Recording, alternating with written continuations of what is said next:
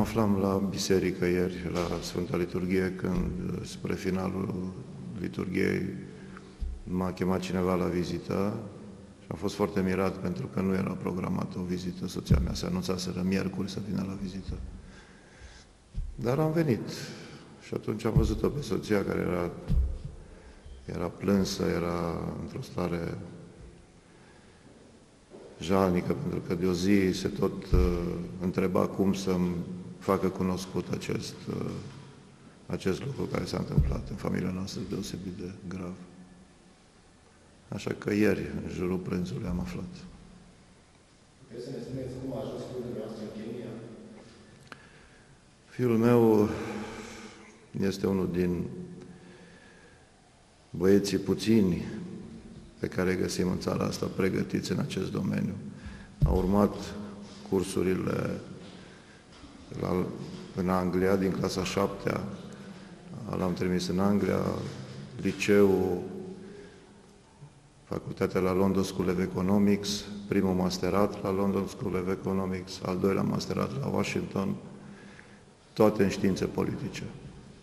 Așa încât, imediat după ce a terminat uh, aceste absolvit aceste studii, a, a fost angajat de o firmă în Statele Unite, în domeniul campaniilor electorale, Marsh Copsey, pentru care a lucrat trei ani de zile în diferite state din uh, Statele Unite, Virginia, Texas, Montana, apoi în, uh, în uh, internațional, a fost trimis în Azerbaijan, în Filipine, în Columbia, India, iar de trei ani de zile lucrează la o firmă în Anglia, pe, în același domeniu. Aici, în Anglia, e o firmă structurată pe mai multe de departamente, el conduce departamentul uh, electoral. Și avea mai multe proiecte în derulare, unul din ele fiind și acesta în Kenya, pe care l-a început în primăvară. Era vorba de alegeri prezidențiale. Și în câteva rânduri a fost, a venit uh, și a aranjat uh, staful de campanie acolo, deci lucrurile păreau că intră, intră pe o linie normală.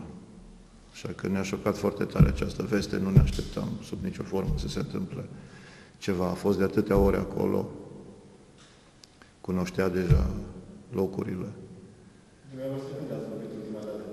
Am vorbit ultima dată cu el vineri. Vineri l-am sunat și legătura telefonică nu era foarte bună. Și atunci am întrerupt, am spus, Dane, o să vorbim altă dată. El mi-a răspuns, acum am să plec la o cină cu clienții pe care am aici, pentru care lucrez și probabil că duminică mă voi întoarce și voi veni la tine săptămâna viitoare. Și am înțeles apoi că după cină s-a dus în cameră la hotel și dimineața n-am mai coborât la micul dejun. Toți se așteptau ca el să fie primul, întotdeauna el era primul, el era cel mai corect, cel mai punctual. Și după o, ceva vreme s-au dus în cameră și l-au găsit cum l-au găsit. Dumneavoastră, ce credeți că s-a întâmplat? Nu pot să fac niciun fel de supoziție, nu pot să spun ce s-a întâmplat. Mă gândeam prima dată dacă n-a fost o presiune prea mare asupra lui în ceea ce privește sănătatea, dar mi-am adus aminte că în primăvară își făcuseră niște analize la sugestia mea la Londra, pentru că toate călătorile acestea erau destul de grele pentru el să treacă de o emisferă în alta, de la un fus solar la altul și așa mai departe. Și analizele au fost bune, sigur, cu mici excepții, dar nu ceva care să ne alarmeze. Um, deci nu pot să fac niciun fel de supoziție și nici nu vreau să fac. Am înțeles că cei de la firma din Anglia sunt acolo, au declanșat o anchetă, cu șefii, cu avocați, cu tot ce trebuie. Și am încredere în ei.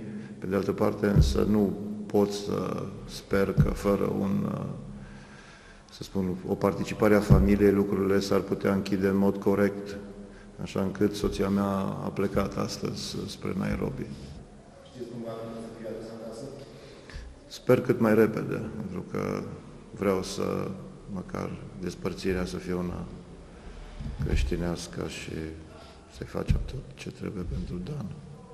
Da, Avem. Există vreo suspiciune de crimă? Nu, nu, nu există așa ceva.